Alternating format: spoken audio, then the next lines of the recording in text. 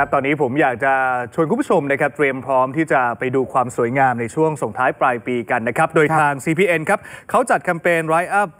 Lighten Up Together นะครับซึ่งเป็นการส่งต่อความดีและพลังใจให้กันและกันประดับไฟสว่างทั่วลานเซ็นทรัลเวิร์เลยนะครับนี่ฮะคุณบีเกียรติบอกว่าจะไม่พลาดใช่ไหมครับอ่าต้นี่องไปใช่ไหมครับเพราะว่าเขาตั้งใจในการใช้สีเหลืองในปีนี้นะอ่านี่ฮะ โดยบริษัทเซ็นทรัลพัฒนาจำกัดมหาชนหรือว่า CPN นะครับจัดแคมเปญนี้ครับ Lighten Up Together ส่งต่อความดีและพลังใจให้กันและกัน โดยการเนรมิตลานศูนย์การค้าเซ็นทรัลเวิลด์ landmark countdown ระดับประเทศนะครับให้งดงามสมรัชกาลพร้อมให้ประชาชนร่วมเทิดพระเกียรติ จุดเทียนข้ามปี และก็ร่วมเป็นส่วนหนึ่งของการนับถอยหลังก้าวเข้าสู่ปีใหม่ 2560 อย่างเรียบง่าย ทั้งนี้ครับที่ลานหน้าเซ็นทรัลเวิลด์เนี่ยจะได้รับการตกแต่งด้วย concept Winter White The Garden of Happiness มีต้นคริสต์มาสสีขาว ประดับด้วยริบบิ้น และก็ดวงไฟกว่าล้านดวง ตระการตากับทุ่งคาร์เนชั่นสีเหลืองทอง น้ำพุ LED ขนาดใหญ่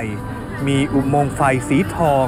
สะท้อนให้เห็นถึงความสุข พลังใจให้กันและกัน ในการก้าวเข้าสู่ปีใหม่ โดยจัดให้ประชาชนเข้าชมนะครับ ระหว่างวันที่ 14 ธันวาคม เริ่มต้นขึ้นแล้วนะครับครับจนถึง 8 มกราคม 2560 เลยครับ อ่า